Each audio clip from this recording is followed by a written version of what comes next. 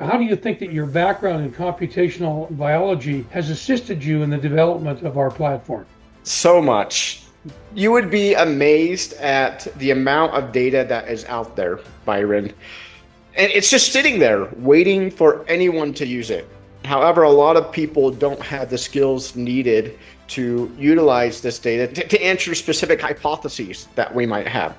However, because of my computational skills, I'm able to go and curate and harness this data and ask these very specific questions that we need to move forward.